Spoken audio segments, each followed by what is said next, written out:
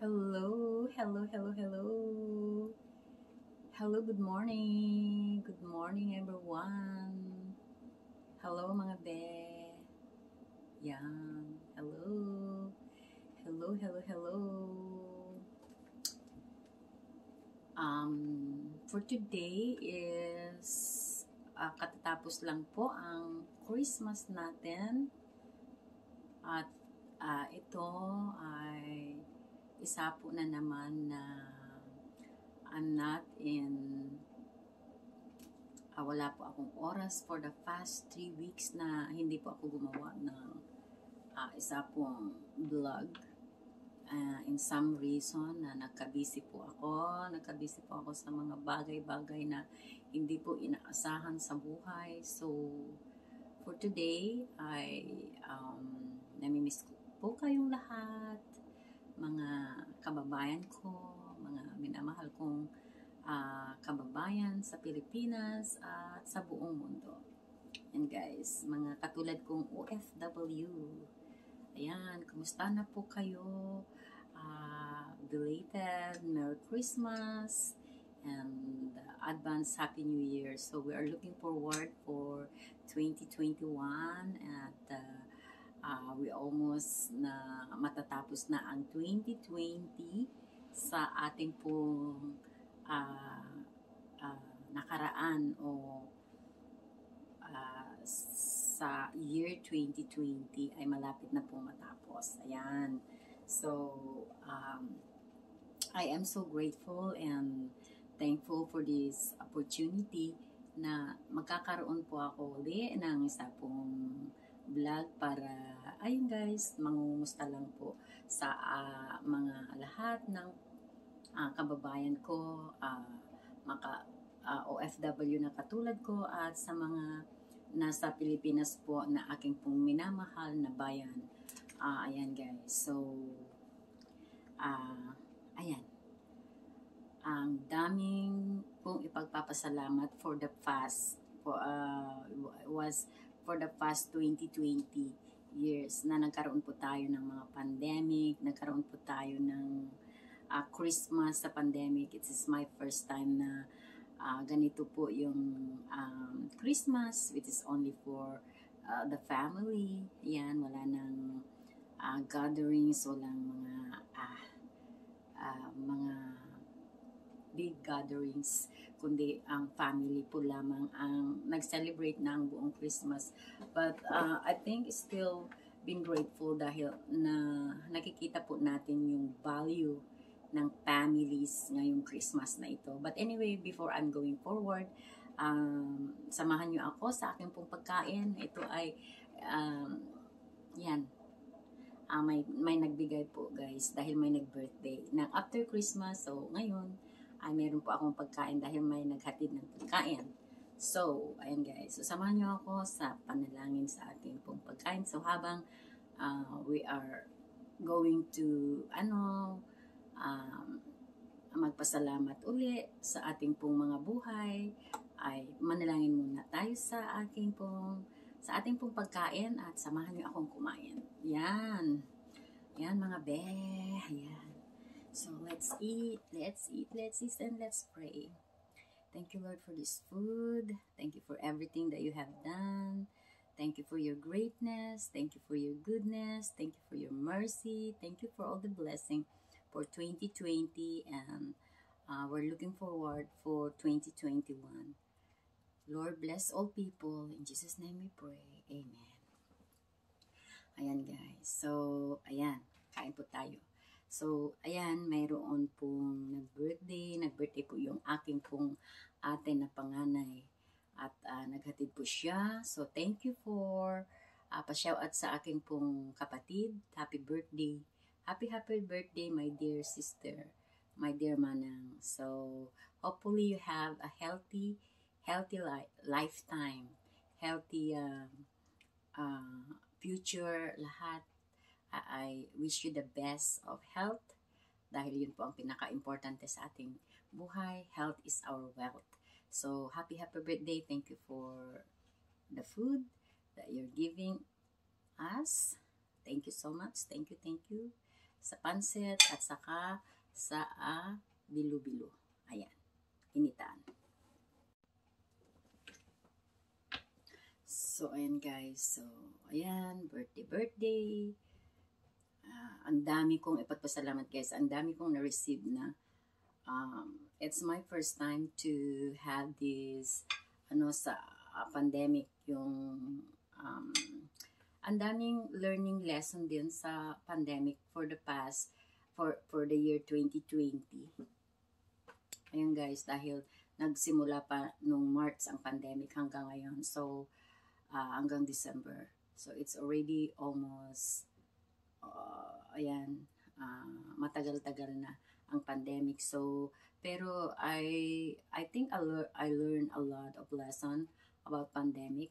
So, yung uh, closeness, the value of families, lalong-lalo na sa mga nawalan ng trabaho, uh, sa loob lang ng bahay, ang daming dapat na gawin sa loob ng bahay para ma-focus natin ang, ang kahalagaan ng ating pong pamilya. So marami din uh, nawalan ng trabaho, ako nawalan ako ng work, meron din uh, continuous ang mga trabaho. Uh, but still, I think we have to be grateful for everything that um, we we have. Be grateful and satisfied what we had during pandemic. Meron din naging mga successful, um, marami din um, naging maraming pagpapala, meron din mga mga taong nawalan ng mga negosyo at nawalan ng mga uh, trabaho. But still we still have uh, grateful in our heart in everything that we are facing in this pandemic. Um, so, uh, ako guys ay um, naging satisfied po ako during pandemic because there's no reason for us to complain in everything that it's happening around us. Parang ang dami guys na dapat kong na-learn dahil sa pandemic na ito. Um, naging blessing din sa akin dahil na-focus ko ang ang family ko, ni-focus ko ang aking anak bilang isang ina. Hindi na katulad nun na laging uh, wala sa bahay, laging nagtatrabaho sa labas, walang oras sa pamilya, laging naghahabol ng oras para sa ganun ay uh, para makapagtrabaho sa pang-araw-araw na pamumuhay. But then, uh, I think uh, this pandemic is also a blessing for others is, or for every one of us para ma kita natin ang ating pong mga minamahal sa buhay. Nandoon ang closeness ng bawat isa sa atin. So, ang itong Christmas na ito talaga ay para sa pamilya po lamang. At nakita ko doon kung gaano kahalaga ang isa pong pamilya. Na kahit sa mga ganitong nangyayari sa ating buhay, ang pamilya talaga ang dapat pagtuunan natin sa ating pong mga buhay. So, once you have family, we have to focus in our family, to love each other, to forgive each other, and to love, to love and cherish each other. So, kailangan uh, we appreciate each other. We receive lots of gifts. We receive lots of blessing. We receive a lot of support. Though, uh, kung minsan na nag struggle po tayo sa buhay, nagkakaroon po tayo ng stress, sa pandemic na ito but then uh, we still be thankful and uh, appreciate each other and be grateful for everything that we have. Though we struggle sometimes but we still be grateful uh, for what God has done in our lives. Uh, napakabuti talaga ang Panginoon guys because I think God has purpose for everything and in every day of our lives yung parang sa araw-araw kung pamumuhay o kahit sa individual na tao sa buong mundo, God put us in order. So lahat ng mga nangyayari ay may layunin o mayroon plano ang bawat isa sa atin at may plano ang Panginoon sa bawat isa sa atin. So I I think I have to um, uh, in our daily life, God already instructed us uh, what's happening uh, before before us or uh, behind us or uh, before us. So, uh, alam na ng Panginoon yan kung ano ang nangyayari sa buong mundo. And uh, hopefully, uh, kahit na ang daming uh, mga trahedya, uh, ang daming uh,